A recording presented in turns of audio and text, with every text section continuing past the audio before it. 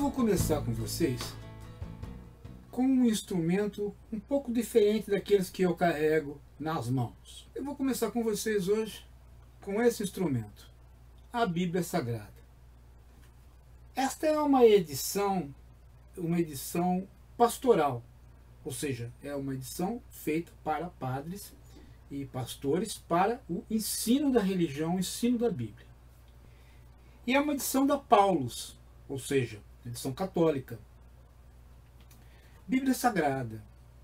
Vejam só uma nota de rodapé introduzida pelos estudiosos da Igreja Católica, pelos teólogos da Igreja Católica, pelos editores da Paulus, aqui no Gênesis. Nota de rodapé do Gênesis. Logo tem a origem do mundo e da humanidade, e aí vem uma nota de rodapé lá embaixo. Preste atenção na nota de rodapé.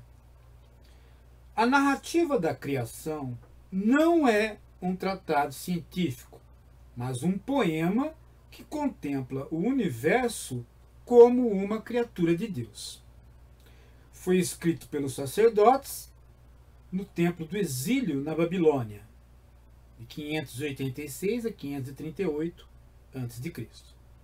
E procura salientar vários pontos. Primeiro, que existe um único Deus vivo, é criador. Segundo, que a natureza não é divina.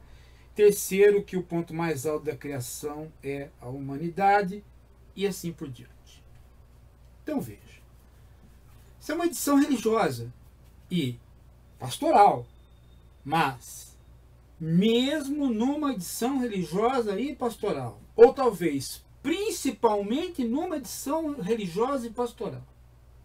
Está claro para os estudiosos, os teólogos católicos, para o Papa, e deveria estar claro para os padres, esta nota de rodapé não se trata de um tratado científico, se trata de um poema. Se nós entendemos essa nota de rodapé, nós entendemos tudo é todo o necessário para se entender a Bíblia, a sua diferença para com a narrativa científica, para com a narrativa filosófica, para com a narrativa literária. Ela é uma narrativa de um poema. Veja só. Né? Então, o critério de verdade se aplica para narrativas científicas o critério de significado se aplica para narrativas filosóficas e para os poemas. Um poema tem que dar sentido, dar horizonte de sentido. A ciência dá horizonte de verdade. A filosofia também caminha, às vezes com horizonte de verdade, com horizonte de sentido. Consegue entender isso? Consegue entender que os próprios religiosos dão a chance para você poder ler a Bíblia de um ponto de vista não religioso. Ou melhor, de um ponto de vista religioso, sim, mas inteligente, porque não confunde narrativas. Você faz o ensino médio e você aprende a distinção de narrativas. Narrativa literária é uma coisa, depois, dentro da narrativa literária, há gêneros literários. A narrativa filosófica é outra coisa. Dentro da narrativa filosófica há os continentais e os analíticos. A narrativa histórica é outra coisa. Dependendo da escola histórica, você tem uma narrativa positivista. Dependendo de uma escola histórica, você tem uma narrativa mais compreensiva. Isso é feito no ensino médio, isso não é feito no ensino médio, é feito na universidade. Você tem que aprender a distinguir narrativas e cobrar delas aquilo a que elas se propõem. Não pode cobrar de uma narrativa a proposta de outra narrativa. Então é isso que a nota de rodapé, diz. Ela distingue esta narrativa da narrativa científica. De modo que você pode ensinar isso aqui como um poema. O poema ético do povo de Deus, do povo escolhido, os judeus. São eles que estão dizendo isso, que eles são os escolhidos. E depois São Paulo estende para toda a humanidade pregando né, o velho, o evangelho mais velho e o evangelho mais novo de Jesus para além dos judeus e funda a chamada Igreja Universal, a Igreja Católica. E depois, lá na frente, né, Lutero vai ter o cisma com o Papa, vai criar as vertentes protestantes ou evangélicas, enfim. Tudo isso é história, gente. História, antropologia, religião, tudo isso precisa ser ensinado no ensino médio, sim. Porque se você não sabe isto, por exemplo, se você não sabe o cristianismo, como é que você vai ler filosofia, por exemplo, de uma autora como a Hannah Arendt, uma autora contemporânea cuja tese é sobre outro filósofo, Santo Agostinho, sobre o amor em Santo Agostinho. E a discussão do amor em Santo Agostinho depende do entendimento do que é o amor cristão. Então, se você não lê a Bíblia, não sabe o que é o cristianismo, você nem pode estudar Hannah Arendt direito. É uma cadeia. Do mesmo jeito que você não aprende a física moderna se você não tem a física do Newton. Está me entendendo? Então, veja, não adianta você querer ser ateu e ser um ateu bobo. Um ateu que abre a Bíblia, como os pastores ignorantes ou caça-níqueis abrem, né? põe o dedo assim, aleatoriamente, sem ter estudado nada, aleatoriamente lê uma frase e glorifica essa frase, mas você, ateu, ao invés de glorificar, encontra contradições na frase. Não se encontra contradições num poema. Contradições pertencem à narrativa da ciência ou da filosofia. O poema não tem contradições, ele é alegórico. Será que é tão difícil entender isso, gente? Será que é tão difícil entender isso? Será que é tão difícil? Né? Os ateus do passado eram inteligentes, eles entendiam isso, mas agora os ateus começaram a ficar tão ignorantes quanto aqueles ignorantes religiosos. Os pastores caça-níqueis ou os pastores que não têm formação nenhuma, ou padres que fazem seminário aí eh, sem estudar. Mas se você presta atenção no próprio texto que a Igreja Católica está fornecendo para você, ele mesmo, mesmo o texto pastoral, não um texto teológico, é o texto da pastoral, ele mesmo diz para você como é que você deve ler. A nota de rodapé já explica tudo, a nota de rodapé do Gênesis. Fora as introduções.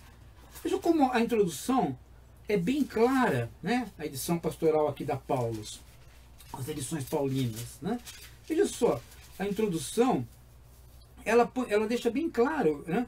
ela fala assim, olha, é, ela fala sobre a, sobre a tradução, sobre a formação, patati patatá, e aí ela vai para a introdução, ela diz o seguinte, olha, A Bíblia é um conjunto de livros que revelam a vida de Deus presente na história dos homens. Então, este Deus aqui vem o Deus com letra maiúscula. Já é o Deus né, dos judeus. É, depois ela vai explicando mais algumas coisas, e aí ela fala assim: qualquer acontecimento humano pode ser visto de vários ângulos, dando origem a várias interpretações.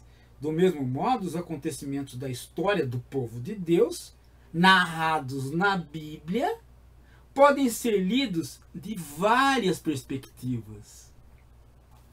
O texto, o próprio texto está pedindo para você que você se forme de maneira a ter uma hermenêutica, um estudo, uma capacidade de interpretação. Mas para isso você tem que saber filosofia, tem que saber história, né? tem que saber geografia do período. E tem que ter o desprendimento. A própria, a própria, a própria, a própria texto está dizendo que merece várias interpretações. Agora, interpretar não é abrir a Bíblia né, e ler literalmente uma frase. É como o teu professor do colégio ensinou você a interpretar, não ensinou você a interpretar, pegar o Machado de Assis, ler o Machado de Assis, fazer interpretação de texto, não ensinou isso para você. Isso é um começo de leitura hermenêutica, para depois na universidade você poder fazer aprofundamento da sua hermenêutica. Então a Bíblia é necessária na escola, sim. Claro que é. Se você quer falar em criacionismo, isso não é Bíblia. Criacionismo é uma doutrina de, não tem nada a ver com Bíblia. É uma, é uma doutrina tirada de uma leitura né, literal e não interpretativa da Bíblia. Literal. Aí você vai encontrar mesmo inconsistências, milhões de inconsistências, porque é um texto poético. Ler a Bíblia na escola é fundamental. Fundamental lê-la na aula de história, na aula de geografia, na aula de filosofia, integrar saberes, entender que a nossa cultura ocidental tem a ver com gregos, tem a ver com romanos e tem a ver com judeus com a sua religião, que depois se transforma na religião oficial do Império Romano. De modo que aí nós conhecemos a mentalidade popular ao conhecermos a moral popular que vem daqui. Gente, se você não entende isso, se você não é capaz de entender essas coisas simples que eu estou dizendo, realmente você está né, no pé desses pastores aí dessas igrejas caça-níqueis ou desses pastores ignorantes, né? ou dessas populações que você, como pretenso ateu, critica. Você está igual. Não pode. Não pode. Agora, tem muita gente que diz, Paulo, mas não pode ser a leitura da Bíblia na escola porque não há professores capacitados para trás e vai cair na mão de pastores e padrecos. Não, mas assim você não vai para frente em lugar nenhum, porque também não há professores capacitados para matemática, filosofia e química com esse salário que está aí. Então esse é outro problema.